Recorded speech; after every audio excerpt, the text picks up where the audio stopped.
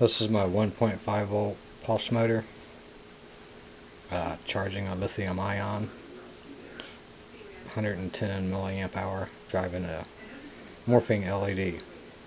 I'll show you some voltages here in a minute.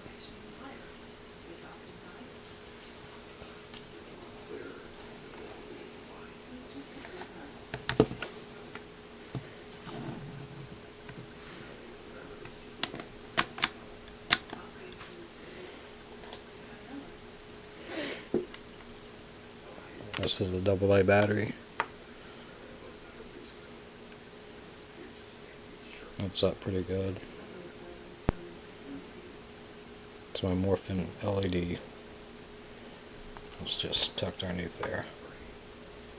Coming off my lithium ion.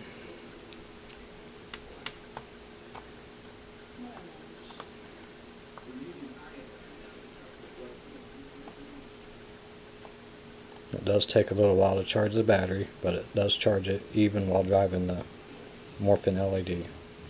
2.57 will go up to about 2, 8, just under 3 volts off of a 1.5 volt battery.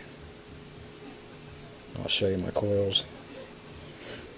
The LED will still continue to morph because the battery's charged to about 2.5 volts. This is my disc. Let's see if I can get it in there neodymium's just magnetically stuck on there. My coils, 300 ohms, very fine winding. The motor is 16 ohms, a little heavier gauge wire.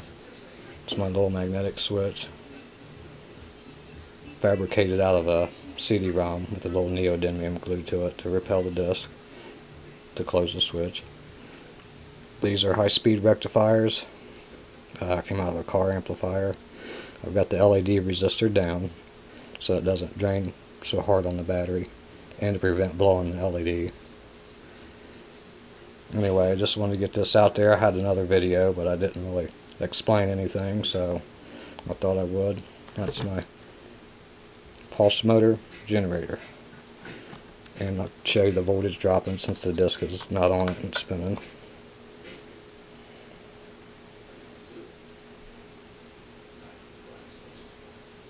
Should drop. It's going to drop slow because I got the bulb resistor down, so it's not drawing a lot.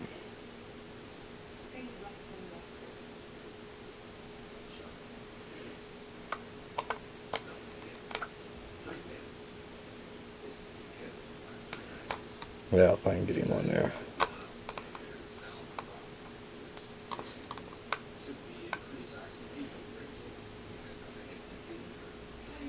Anyway, it will drop. It drops slow, but it does drop. But it will charge and drive the LED off of a AA battery. Now the voltage should start to come back up.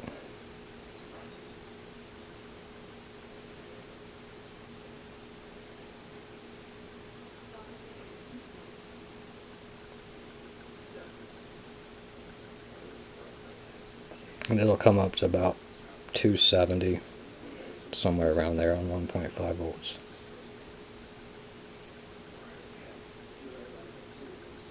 Anyway, I just wanted to explain some stuff on the motor generator.